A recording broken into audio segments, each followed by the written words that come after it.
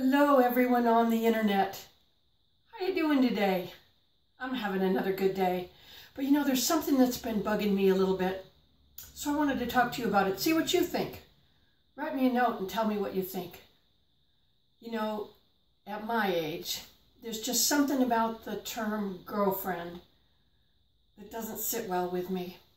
I don't know, maybe it's because it's a little high school, or maybe it's because it, it signifies a lesser level of commitment. But I don't know, somebody with a Medicare card surely isn't someone's girlfriend.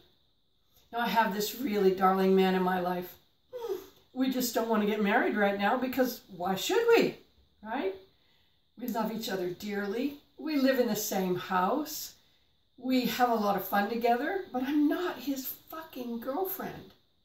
Well, that's two separate things, the fucking and the girlfriend, but I don't know, it just seems like there ought to be a better term. Don't you think?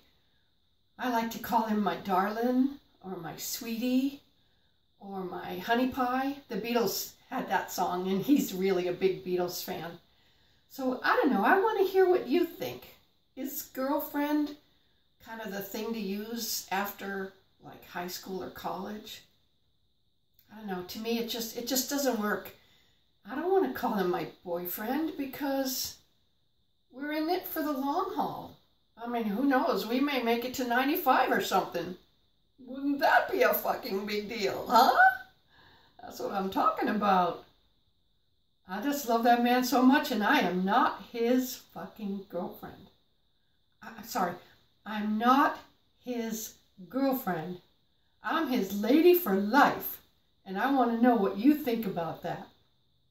Oh, and don't forget to subscribe to my channel so you get to hear more of my nuttiness.